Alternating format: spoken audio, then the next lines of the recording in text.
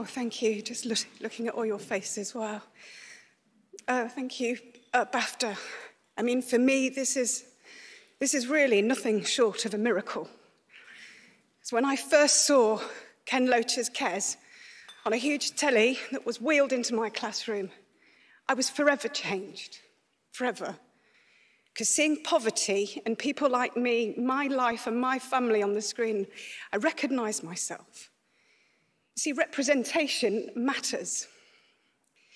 In 2008, I directed my first film, The Unloved, and it was about faith, I believe in God, and it was hope and forgiveness. But as much as anything, it was what I wanted to tell little Sam homeless and cold, hungry and alone that you'll have a family one day and you'll have a life beyond what the government statistics have laid out for you because you matter.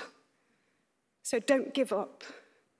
You see, the stories we tell, they, we, they actually they have the power to change people's lives.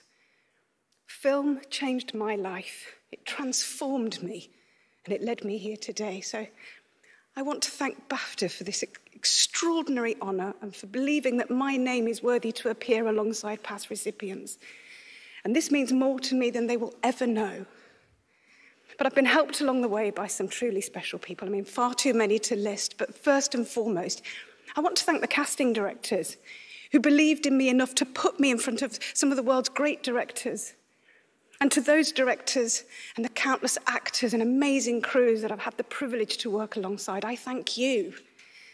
And I must thank Nottingham, City of Nottingham, and the Nottingham Television Workshop, Nikki Van Gelder and Jenny Rawlings for all the years of unwavering support.